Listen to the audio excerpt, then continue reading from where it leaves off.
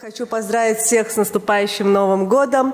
И хотелось бы начать а, нашу сессию, касающуюся опухоли головы и шеи, и остановиться на алгоритмах лечения опухоли данной локализации. Хочу напомнить, что а, опухоли головы и шеи составляют около 10% всех злокачественных заболеваний. И заболеваемость, к сожалению, увеличивается с возрастом. Чаще болеют мужчины старше 60 лет. 90% а, случаев опухоли головы и шеи занимает плоскоклеточный рак. И, к сожалению, две трети пациентов уже диагностируются а, вместо распространенной метастатической форме.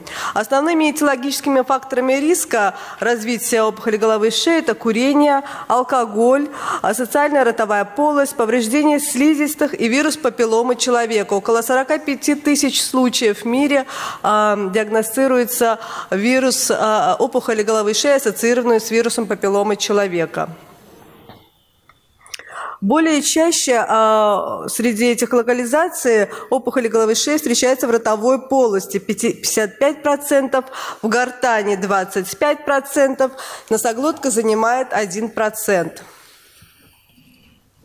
Как я сказала ранее, а, более 60% пациентов диагностируются уже с местно распространенной формой, метастатической формы, которая, к сожалению, имеет удручающий прогноз – с пятилетней выживаемостью до 4%, в то время как локализованные формы а, могут а, жить 5 лет в 84% случаев. Что интересно, что опухоли головы и шеи, ассоциированные с вирусом папилломы человека, характеризуются более лучшей общей выживаемостью по сравнению с опухолями без такой а, без вируса папилломы человека. И 50% пациентов опухоли головы и шеи рецидивируют в основном в сроке до двух лет. Конечно же, лечение и диагностика данных, данной локализации, как и все онкологические локализации, должны решаться мультидисциплинарной командой, начиная от морфолога, заканчивая хирургами. А, конечно, необходимо использование рекомендаций и преимущество обладает, конечно, участие в клинических исследованиях. С чего начинается первичная диагностика? Это стандартный осмотр хирургом, анамнез, э, тщательный сбор анамнеза, определение а, изучения анализов крови с определением нутритивного статуса, эндоскопические исследования верхних дыхательных путей, желудочно-кишечного тракта, э, радиологические методы исследования для правильного стадирования и для выявления метастатических очагов. А также, конечно, основополагающим является биопсия опухоли с гистологической верификацией. Э, на чем основа выбор лечебной тактики? Конечно, в первую очередь на, э, зависит от характеристики самой опухоли, локализации, стадии, факторов прогноза, риска рецидива заболевания. Характеристик самого пациента – это возраст, пол, сопутствующая патология, э, возможности вариантов выбора лечения и, конечно же, это желание пациента. Основные методы лечения опухоли головы шеи – это хирургическое лечение, лучевая, сочетанная химиолучевая терапия, таргетная а, лучевая терапия, индукционная химиотерапия. Что касается резектабельных опухолей, конечно, резектабельные опухоли нуждаются в первую очередь в хирургическом лечении с последующей лучевой химиолучевой терапией. Такие локализации, которые трудно доступны, трудно резицируемы, конечно, э, прошу прощения, э, вернее, э, те локализации, которые легче резицировать и легко доступны, они нуждаются в радикальной операции с удалением первичной опухоли, лимфодиссекции, с возможностью продолжения и назначения далее адъювантной лучевой и химиолучевой терапии. И оптимальный срок до начала химиолучевой терапии – это 6 недель после хирургического лечения. Основными факторами риска, а, которые являются показаниями для назначения адъювантной химиолучевой и лучевой терапии, это экстракапсулярное распространение опухоли, лимфоваскулярная инвазия, а, категории Т3, Т4 и положительные края резекции. При опухолях ротоглотки труднодоступных Э, локализации, такие как корень языка, задняя стенка глотки, складочные отделы гортани, в первую очередь назначает э, консервативные методы лечения. Это лучевую и химиолучевую терапию. Неадъювантная химиотерапия не является стандартом при лечении резектабельных опухолей органов головы шеи. Индукционная химиотерапия с последующим возможным дополнением хирургическими и химиолучевыми методами может э, применяться при местно распространенных опухолях. Решение о применении трех модальных подходов, конечно, а, решается а, командой специалистов. И основной целью данного лечения это, конечно, возможность сохранения органа, а именно гортани, при отсутствии риска ухудшения онкологических результатов проведение предоперационной химиолучевой и лучевой терапии при резектабельных опухолях не показано. Основной режим химиотерапии, который используется при э, в адъювантном режиме опухоли головы и шеи, это препараты платина, фторурацила, токсана. Э, все эти рекомендации, алгоритмы отражены э, в рекомендациях русско-российских 2017 года. Также они повторяются в 2018 году без особых изменений. И все могут с этими алгоритмами ознакомиться. Что касается нерезектабельных местно распространенных опухоли, это, а, конечно же, назначение, возможно, в первую очередь назначение консервативных методов лечения, а именно сочетанной химиолучевой терапии. Здесь а, назначается химиотерапия а, платиновыми препаратами в монорежиме или в полирежиме для, с противоопухолевой целью, сенсибилизирующей целью. И, конечно, предпочтение отдается монорежиму цисплатина. Возможно использование комбинированных режимов высокотоксично с проявлением э, высокой частоты мукозитов, что приводит к прерыванию терапии. И более эффективно оказалось сочетание цитуксимаба с лучевой терапией по сравнению с платиновыми режимами. А, а, чего зависит тактика лечения рецидивов опухоли головы и шеи? Это варианты рецидива, локальные, регионарные, метастатические рецидивы.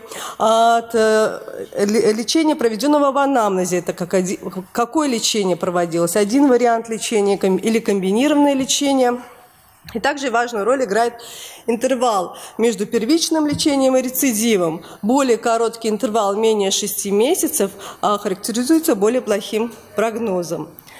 Какие алгоритмы лечения рецидива рака головы и шеи? Это если резектабельное заболевание, конечно же, в первую очередь хирургическое лечение и послеоперационная лучевая и химиолучевая терапия.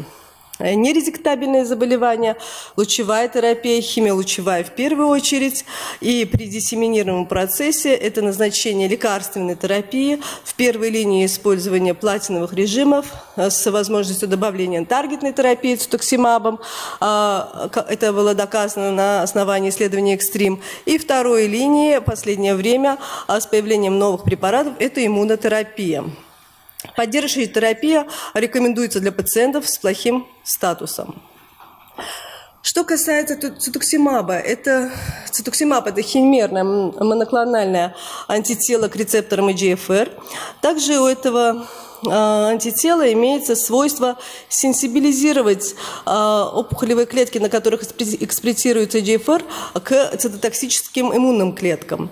И также он одобрен в сочетании с химиотерапией, с лучевой терапией. Общая эффективность а, цитоксимаба позволяет контролировать заболевание в 50% случаев.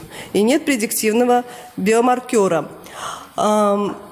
Данное исследование «Экстрим», э, в котором сравнивалась химиотерапия с комбинированием химиотерапии и цитоксимаба, а после индукционной химиотерапии продолжалась поддерживающая терапия цитоксимабом, выявила выигрыш э, в общей выживаемости по сравнению с, хи с простой химиотерапией на 3 месяца.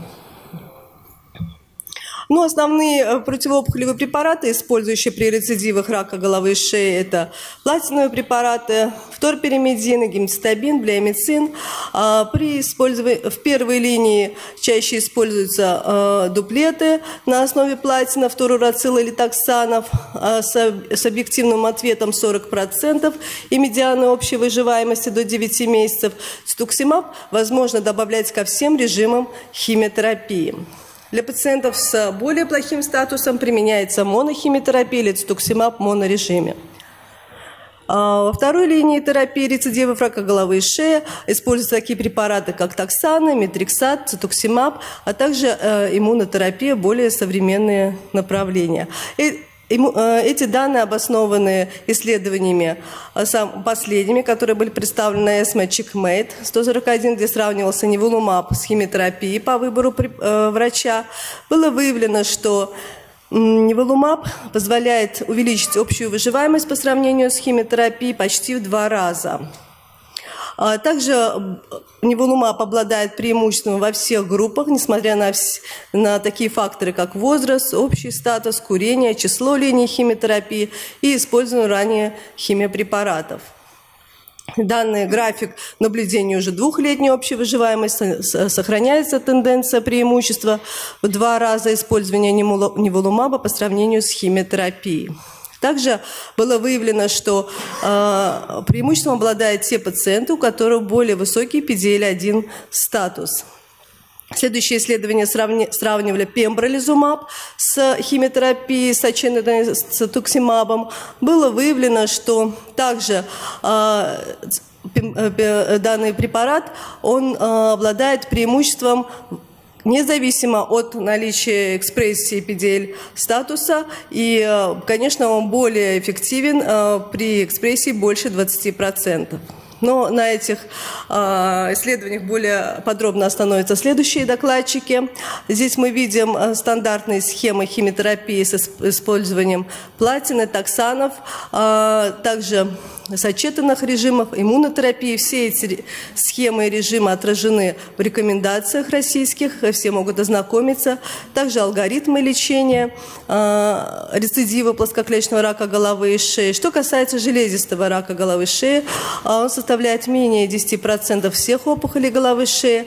И, конечно, приоритетным является хирургическое лечение, так как железистый рак очень агрессивный при Химиотерапия часто возможно применить как этап, этап лечения нерезектабельных опухолей. И здесь уже используются более преимущественно препараты доксу, антрациклинового ряда, платинового ряда. А также э, существуют рекомендации и алгоритмы в российских рекомендациях. Что касается рака носоглотки. Рака носоглотки. Э, он стоит обособленно, так как отличается высокой чувствительностью консервативного метода лечения. Э, используются только консервативные методы лечения. Это лучевая, химиолучевая терапия.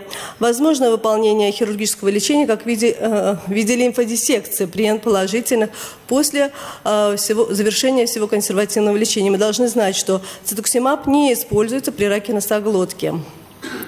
Также используется химиолучевая терапия с цисплатином как сенсибилизирующий агент. При третьей стадии рака носоглотки возможно продолжение химиотерапии с э, использованием дуплетов химиотерапии. И при достижении эффекта на фоне химиотерапии возможно рассмотрение добавления лучевой терапии на втором этапе. Также э, данные все рекомендации отражены и э, в практических рекомендациях РУСКО, поэтому все могут ознакомиться как прошлого года, так и этого года. И хотелось бы добавить немного солнца в наш серый зимний денечек, чтобы у нас было много оптимизма бороться с онкологическими заболеваниями. Спасибо за внимание.